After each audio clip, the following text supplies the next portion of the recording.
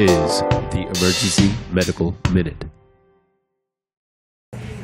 So we're going to talk about something that scares the living bejesus out of us. Someone said clowns, and sadly, clowns are not the subject of today's medical minute. What is is pregnant ladies and potentially sick pregnant ladies, right? So, uh, pregnant lady comes in and feeling short of breath, right? Uh, and we have to consider what for our diagnosis. What's the big thing we can't miss? PE, right? And PE is a very important diagnosis in the context of pregnancy because it's one of the leading causes of maternal mortality. Uh, PE has caused around 20% of maternal mortality, so that's a pretty high number. One in every five deaths in terms of pregnancy is caused by a PE. So it's one of those things that we have a heightened sensitivity for. Now, the scary thing is none of us knows what the hell to do for it. um, there's a lot of disagreement between different medical societies about how you should evaluate a, a, pregnant lady with a potential PE. And overall, physiology never helps you in pregnancy because what happens in pregnancy? You get bigger. Your respiratory rate increases in pregnancy. Progesterone itself, which gets higher, actually makes you feel short of breath. So it's an extremely common complaint. Um, there's the American Thoracic Society and what's our normal screening for PE? D dimer. American Thoracic Society says you should not be using D dimers to screen pregnant ladies with PEs. Uh, other people, like we have in emergency medicine, this uh, big PE guru called Jeff Kline, he says, hey, we can use D dimers rationally. And you'll see these adopted D dimers where we basically give you 250 for every trimester of pregnancy. So if you're first trimester, you can be under 750. You know, second trimester under 1,000, third trimester under 12,000, uh, 1,200, 500. No, sorry, 100, 1,250. My God, I think I was having a stroke. Okay.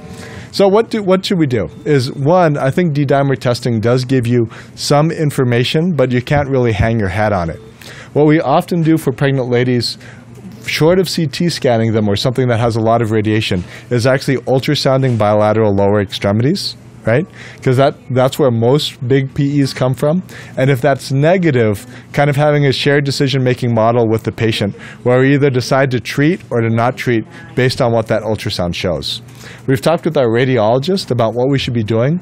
Both a VQ scan and a CT scan both have a lot of radiation to them. And our radiologist group, at least at this point, feels strongly that a CTA with just contrast, not a CT with and without contrast, which has twice the radiation, is really the right approach to it. So, if you see a pregnant lady with a potential PE, you'll probably see a lot of us ordering bilateral VQ scans.